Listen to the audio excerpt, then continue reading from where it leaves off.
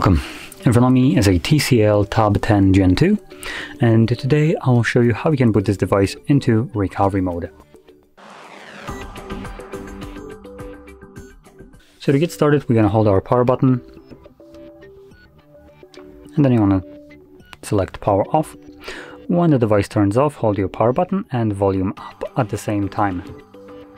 So power and volume up at the same time.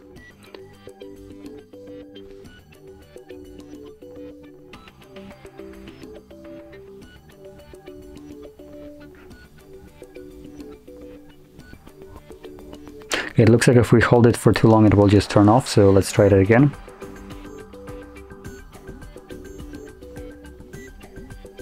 So I'm gonna let go of the power button when the TCL logo shows up.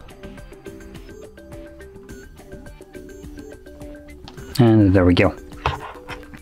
As you can see, we are now in the recovery mode. Now in here we have a couple options which we will navigate through using our volume either up or down, depending if you want to go up or down. And we have reboot system now, which takes us back to Android. We have reboot to bootloader, which uh, I believe will get us to fast boot mode, same as the fast boot mode itself. Then we have apply updates from ADB or SD card, wipe data, mount system, view logs, run tests and power off the device. Now, I mentioned how you navigate through it. Now, whenever you have option that you want to utilize selected, like I have reboot system now right now, you confirm it using the power button.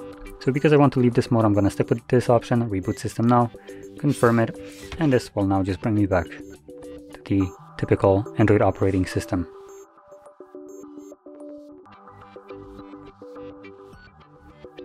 And as you can see, we are now back in Android. So if you found this very helpful, don't forget to hit like, subscribe, and thanks for watching.